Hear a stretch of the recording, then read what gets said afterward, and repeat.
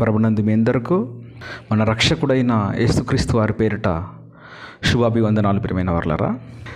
దేవుడు మనుషులకు నియమించిన ఎన్నో నిబంధనలు ఉన్నాయి. ఆ నిబంధనలో ఒక్కటిగా ఈరోజు మనం మాట్లాడుకుంటున్నాము. అదే నోవాహు గారి కాలంలో దేవుడు నోవాహు గారితో చెప్పిన ఒక నిబంధన మనుషులకు నియమించిన ఈ నిబంధన గురించి మాట్లాడుతూ ఒక మాట చెప్పాడు.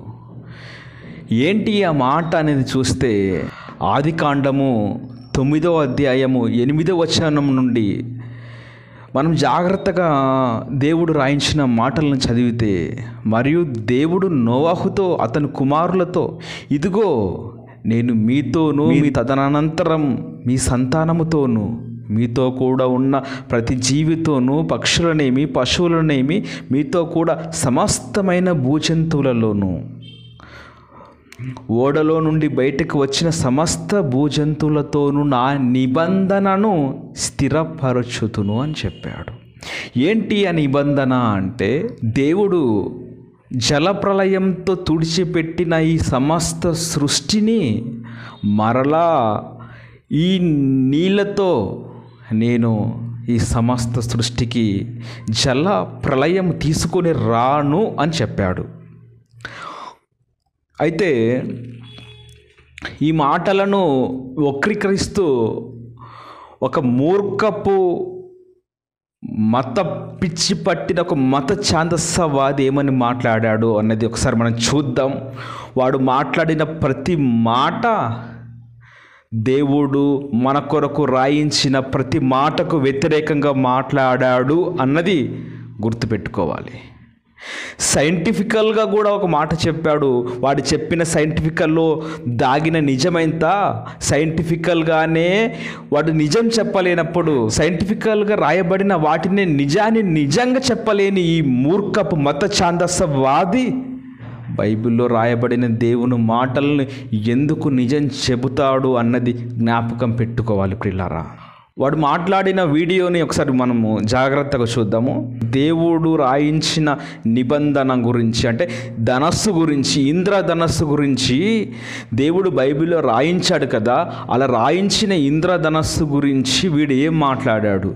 ఈ మత పిచ్చి పట్టిన మత ఛాందస్సవాది బైబిల్ గురించి బైబిల్లో దేవుడు రాయించిన ధనస్సు గురించి నిబంధన గురించి ఏమని కితాబ్ ఇచ్చాడు ఏమని సమాజానికి వక్రంగా మార్చి చెబుతున్నాడో ఒక్కొక్క మాటను మనం గమనిద్దాం ప్రిల్లరా ఏంటంటే ఇప్పుడు మనకి ఇంద్రధనుస్సు అంటారు కదా అప్పుడప్పుడు వర్షం కురిసి వెలిసిన తర్వాత లేకపోతే వర్షం వచ్చినప్పుడు కనపడతా ఉంటుంది. అదంట బైబిల్ దేవుడు ఆయనకి జ్ఞాపకంగా ఉండడానికి పెట్టుకున్నాడంట. ఏంటి?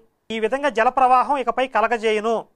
అను మీకు ఇచ్చినటువంటి మాట నాకు గుర్తుండటం కోసం మేఘాలలో ధనస్సును ఇంద్రధనస్సును పెట్టుకుంటున్నాను అని అంటున్నాడు. అంటే పాయింట్ నెంబర్ వన్ ఇప్పుడు మనకు కనపడే ఇంద్రధనస్సు బైబిల్ దేవుడికి జ్ఞాపకం ఉండడం కోసం పెట్టుకున్నటువంటి ఒక సింబలు. అంటే అది కనపడితే తప్ప ఇది జ్ఞాపకం ఉండదు. అంటే గజనీ సినిమాలలోగా షార్ట్ టైం మెమరీ లాస్ అనమాట ఏది పదిహేను నిమిషాల మించి జ్ఞాపకం ఉండదు. వీడు చెబుతున్నాడు జలప్రలయం వచ్చిన తర్వాత దేవునికి జ్ఞాపకంగా ఉండటం కోసం ఇంద్రధనస్సుని మేఘంలో పెట్టుకున్నాడు అని చెబుతున్నాడు. మీకు ఇచ్చినటువంటి మాట నాకు జ్ఞాపకం ఉండడం కోసం ఆ ఇంద్రధనస్సుని మేఘంలో పెట్టాను అని చెబుతున్నాడు. పిల్లరా ఈ మాట ఎంత వక్రీకంగా ఎంత వక్రంగా తిప్పుతున్నాడు అనేది మనం జాగ్రత్తగా ఒకసారి చూస్తే దేవుడు మనిషికిచ్చిన మాటని మరిచే వ్యక్తిగా ఈరోజు సమాజానికి చూపిస్తున్నాడు. దేవుడు మనిషికిచ్చిన మాటను మరుస్తానేమో అని లోకంలో మనకు కనిపిస్తున్న మేఘంలోని సూచనగా ఇంద్రధనస్సును పెట్టుకున్నాడని చెబుతున్నాడు. వీడు చెప్పినట్టుగానే దేవుడు ఒకవేళ ఇంద్రధనస్సుని తన జ్ఞాపకం చేసుకున్నట్టుగా తనకు జ్ఞాపకం రావడం కోసమే పెట్టాడని ఒకవేళ అంటే బైబిల్ తప్పైపోతుంది.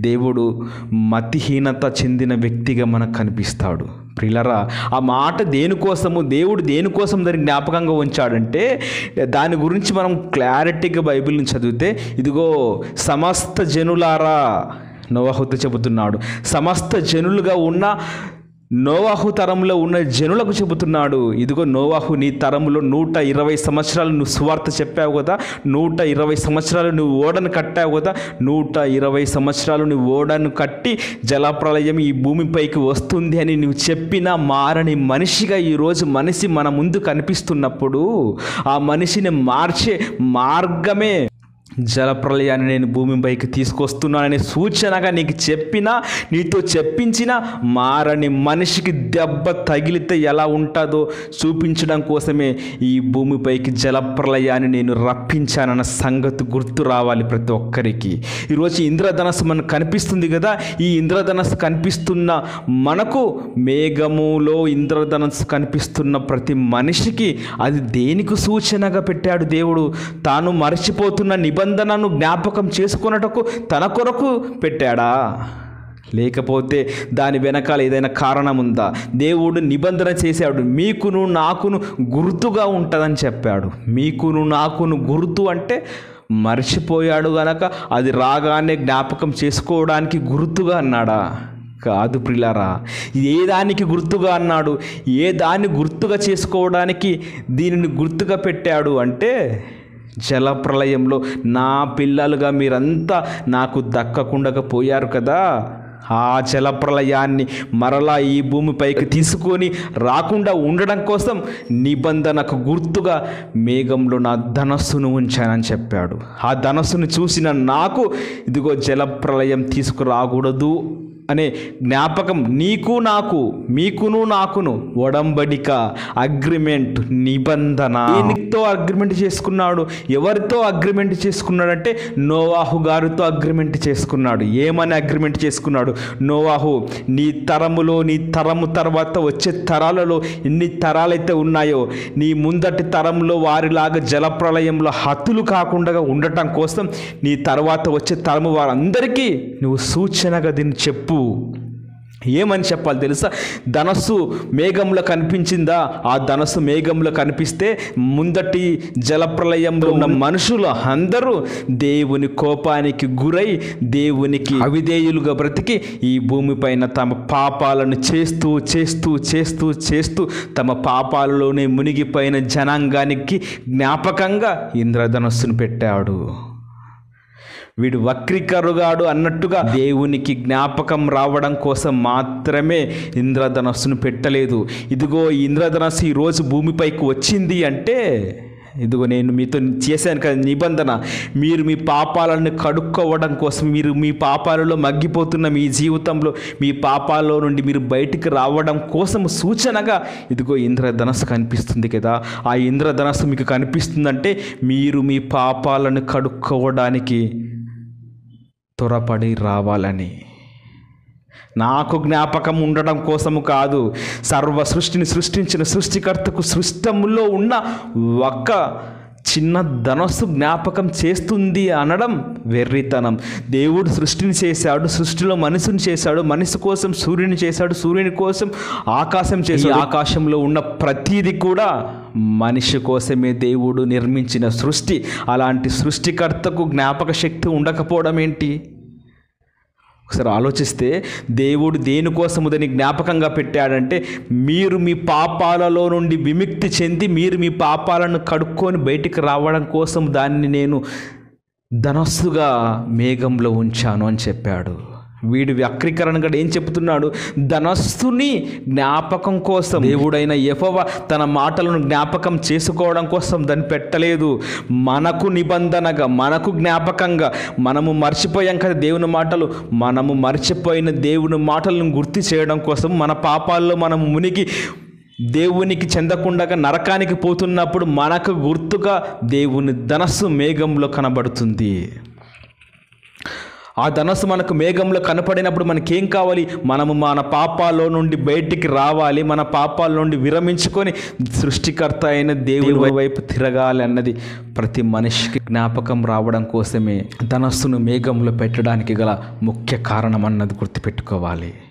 ఈ ధనస్సు గురించి ఈ టెన్త్ ఫెయిల్ గాడు ఒక సైంటిఫికల్ ఇన్ఫర్మేషన్ ఇచ్చానని చెప్తున్నాడు కదా. ఏమని సైంటిఫికల్ ఇన్ఫర్మేషన్ ఇచ్చాడో ఒకసారి అది కూడా చూద్దాం. రెండోది అసలు ఇంద్రధనస్సు అనేది సూర్యకిరణాలు నీటి బిందువుల్లో నుంచి ప్రసరించినప్పుడు ఆ బిందువుల్లో నుంచి విడివడిన కాంతి దుమ్ము ధూళి రేణువులతో కలిసి అందులో ఉన్నటువంటి గాఢమైన రంగులు మనకు కనపడతాయి. ఈ దుమ్ము ధూళి రేణువులతో కలిసి అందులో ఉన్నటువంటి గాఢమైన రంగులు మనకు కనపడతాయి. ఇది ఇంద్రధనుసు సైంటిఫిక్గా ఈ ఇంద్రధనస్సు వర్షం వచ్చిన తర్వాత రావడానికి గల కారణాన్ని సైంటిఫికల్గా తీరులో మనకు చెప్పాడు కదా. ఆ సైంటిఫికల్ తీరులో ఉన్నది ఎంతవరకు నిజం? ఈ సైంటిఫికల్గా వీడి చెప్పింది ఎంతవరకు నిజం అన్నది ఒకసారి మనం చూద్దాం. వీడి మాటల్లో ఉన్న నిజం ఎంత వీడి మాటల్లో ఉన్న అసత్యం ఎంత అన్నది ఒకసారి మనము చూద్దాం ప్రిలారా హా వీడు చెబుతున్నాడు ఇంద్రధనస్సు రావడానికి గల కారణం సైంటిఫిక్ తీరులో నేను చెబుతున్నాను. సైంటిఫికల్గా ఎలాగ వస్తుంది అనేది వీడు చెబుతూ అలాగే సైంటిఫికల్ థియరీ అని చెప్పాడు కదా.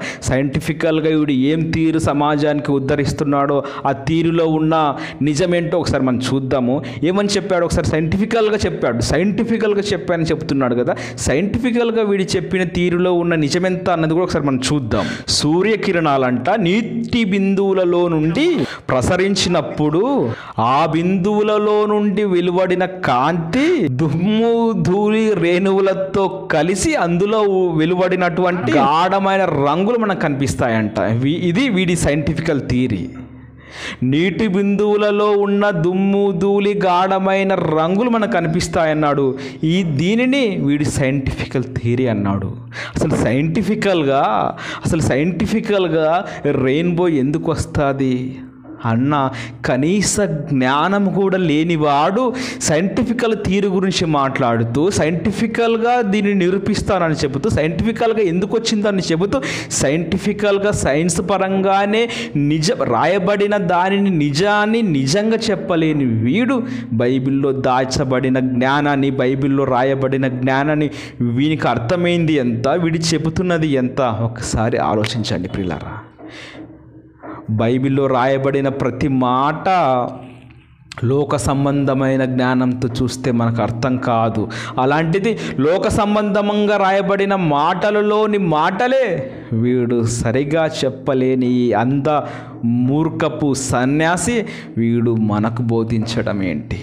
నిజాన్ని నిర్భయంగా ఒప్పుకుందాం. అసలు వీడు సైంటిఫికల్గా తీరని అని చెప్పాడు కదా సైంటిఫికల్గా తీరి ఎలాగో రైన్బో సైంటిఫికల్గా థీరీలో రెయిన్బో రావడానికి గల కారణాలను కూడా మనం ఒకసారి చూద్దాం ప్రిలా సూర్యుని నుంచి ఈ వైట్ లైట్ అనేది సూర్యుని నుంచి డైరెక్ట్గా వచ్చే లైట్ని విజిబుల్ లైట్ అంటారు తర్వాత వైట్ లైట్ అంటారు. ఈ వైట్ లైట్లో నుండి ఏడు రంగులు కలిగిన ఈ రంగులు కూడా ఆ వైట్ లైట్లో ఉంటాయి. ఈ ఏడు రంగులు వైట్ లైట్లో ఉన్నప్పటికీ కూడా మనకెందుకు వైట్ లైట్గా కనిపిస్తుంది అంటే సూర్యుడి నుంచి వచ్చే ఈ కాంతి వేగము చాలా వేగంగా ఉంటుంది. ఆ వేగంగా వచ్చినప్పుడు ఏడు రంగులు అందులో ఇమిడి ఉన్నా మనకు మాత్రం వైట్ లైట్గానే కనిపిస్తుంటుంది ప్రిలారా అలా వైట్ లైట్గా కనిపిస్తున్నప్పుడు ఈ కాంతిలో ఈ కాంతి వేగంలో ఏవేవి రంగులు ఇమిడి ఉన్నాయని మనం ఒకసారి పరిశీలించినట్లయితే సైంటిఫికల్గా మనం మాట్లాడుకుంటున్నాం. ఏవేవి రంగులు అందులో ఉన్నాయన్నది చూస్తే red orange yellow green blue indigo violet అనే ఏడు రంగులు అందులో ఇమిడి ఉంటాయి.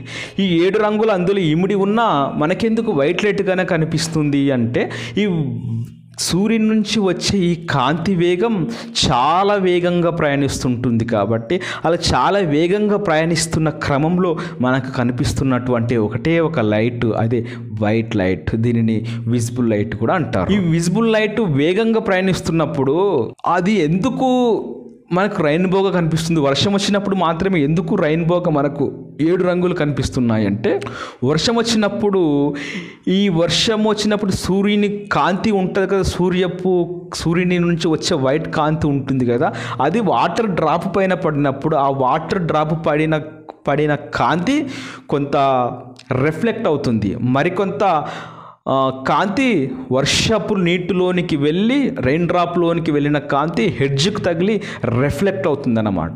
ఆ రిఫ్లెక్ట్ అయిన తర్వాత ఆ. రిఫ్లెక్ట్ అయిన దాని నుండి మనకు ఇలాగా ఫార్టీ టూ డిగ్రీస్లో రెయిన్ డ్రాప్ మీద పడిన కాంతి రిఫ్లెక్ట్ అయిన తర్వాత మనకు ఏడు రంగులుగా అది కనిపిస్తుంది రైన్ డ్రాప్లోనికి వెళ్ళిన కాంతి వేగము సరాసరి అవతలకు వెళ్ళకుండా ఎందుకు మరలా రిఫ్లెక్ట్ అవుతుంది అని శాస్త్రాన్ని అడిగితే శాస్త్ర ప్రపంచం దీనికి ఇచ్చిన ఒక థీరీ చెబుతుంది.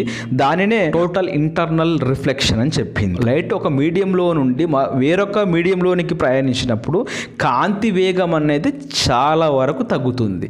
ఏ కాంతి అయితే సూర్యుని నుంచి వచ్చిన డైరెక్ట్ కాంతి కిరణాలు ఒక రెయిన్ డ్రాప్ మీద పడినప్పుడు ఆ రెయిన్ డ్రాప్ మీద పడిన తర్వాత అదే వేగంతో మరలా రెయిన్ డ్రాప్ తర్వాత రిఫ్లెక్ట్ అయిన తర్వాత అదే రెయిన్ డ్రాప్లో మొదట ఉండిన వేగము రిఫ్లెక్ట్ అయిన తర్వాత ఉండదు. అంటే వేగము తగ్గుతుంది. దాని వలన ఆ వేగం తగ్గిన దాని వలన రిఫ్లెక్ట్ అయిన కాంతి రెయిన్బో డ్రాప్ నుండి బయటకు వస్తుంది. అలా వచ్చిన కాంతినే మనం ఈరోజు చూస్తున్నాము రెయిన్బోగా అంతేగాని అందులో ఉన్న దుమ్ము ధూళి చెత్త చెదారం వల్ల ఇంద్రధనస్సు వస్తుంది రిఫ్లెక్ట్ అవుతుంది అని ఒక తీరు చెప్పాడు కదా పనికిరాని తీరు చెప్పాడు కదా. పనికిరాని తీరిని పనికిరాని తీరిని వీడు చెప్పినంత మాత్రాన అది తీరి అవ్వదు. ప్రిలరా ఈ లోకంలో రాయబడిన మనిషి మట్టిలో నుండి రాయబడిన దానిలోని సారమే దానిలోని వివరణే వీనికి తెలియనప్పుడు సాక్షాత్తు దేవుడు రాయించిన గ్రంథంలో దాయబడిన మాటలు వీనికి ఎలా తెలుస్తా ఒకసారి ఆలోచించండి.